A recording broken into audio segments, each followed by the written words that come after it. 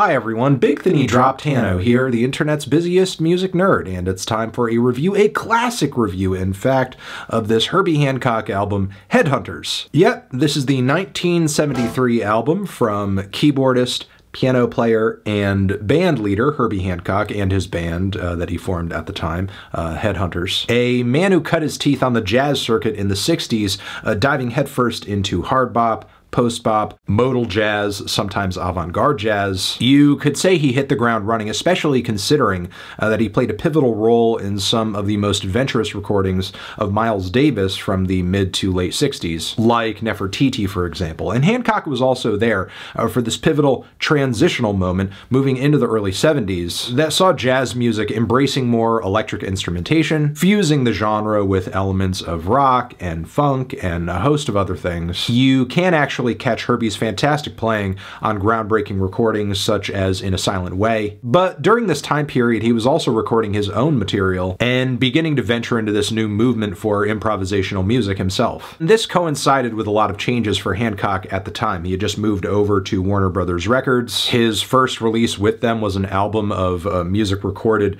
for the Fat Albert NBC special that essentially preceded the television series.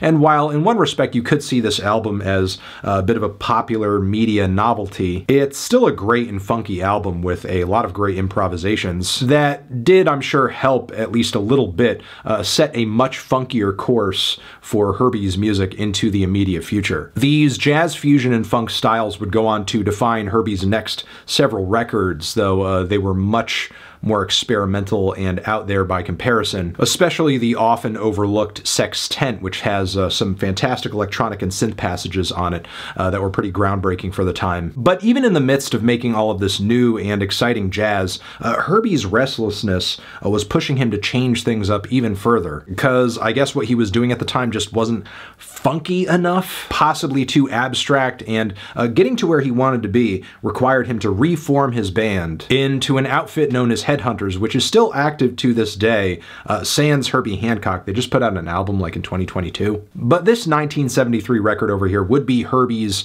debut with the new group, with also this new tweaked direction, and it has withstood the test of time as one of the most significant contributions to uh, jazz funk and jazz fusion ever. And for good reason, because the four tracks on this thing contain some of the most funky and grooving bass lines, beats, and keyboard licks you'll hear in your life. For for a jazz record, there are just unique levels of tone, melodic flavor, and cartoonish camp here, combined with an experimental, slightly playful, kind of goofster attitude that I think makes Headhunters uh, more accessible than many of the self-serious jazz rock jams that you find on a lot of fusion records. Because while a lot of artists, even Miles himself, uh, were borrowing from the uh, groove blueprint of funk music, often what would not carry over was was the fun, exuberant, wild vibes that uh, were laced into those formative funk records. But here on Headhunters, it most certainly does. And yet it still functions as a serious display of band chemistry and jazz chops. There are four tracks on this record ranging from 6 to 15 minutes each, and every one is an iconic jam in its own right. From that slinky, kind of fuzzy envelope bass line at the start of Chameleon, boop, which progresses beautifully into this funky simmer. Big horn harmony breaks too, as well as these reverb-drenched, trippy intergalactic keyboard solos. The band suddenly breaks into this super fast, groovy, hand drum-backed uh, jam session before returning to the original theme and bass line of the song. It's quite the odyssey. And again, it's impressive and memorable, uh, both as a composition, uh, but also an exercise in improv, which is why I think this track has been covered and reinvented so many times the world over over by a host of different jam, jazz, and fusion artists, including the String Cheese Incident, Government Mule, and so many more. But yeah, the track is pretty much a standard at this point, which uh, is, is rare for the fusion era, where you, you just generally were not getting a whole lot of uh, what are considered today to be jazz standards. Following this, we have Watermelon Man, which has a,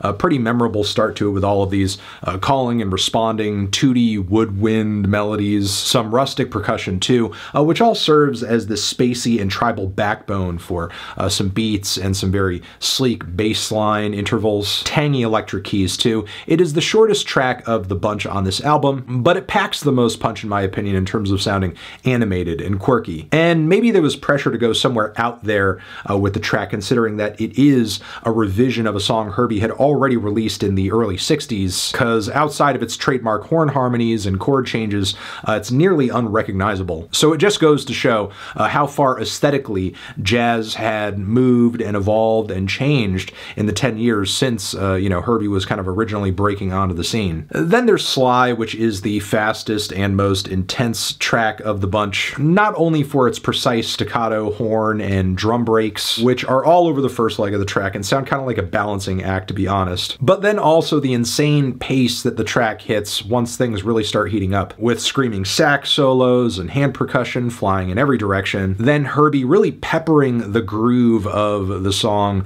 uh, with these Morse code keyboard hits that are just so uh, tiny, just so miniature. They intensify the groove of the track. They add so much more detail to the groove of the track. Whole thing sounds like the trippiest chase scene you've ever heard in your entire life. The electricity bouncing between everybody playing on this recording uh, cannot be described. And then following this, you have the finishing track of the record Vein Melter, which is really a calm after the storm on the album and the most open, explorative, easygoing track on the record, where Herbie really tests his capacity to uh, capture both uh, beauty and mind-bending oddity between all of these different synths and keyboard patches and effects and uh, weird little tricks that he's pulling off with his playing. It's not the fiery thrill that the previous tracks on the record offer, but there is a serenity to it that I love and can't deny. And that is just kind of a quick rundown of this amazing, funky, uh, jazzy, iconic record that I think is really one of the most fun albums of the entire jazz canon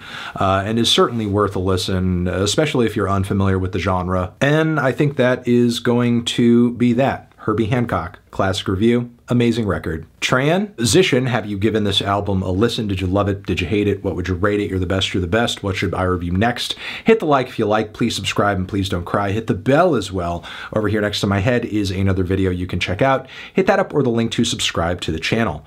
Anthony Fantano, Herbie Hancock, Headhunters, uh, forever.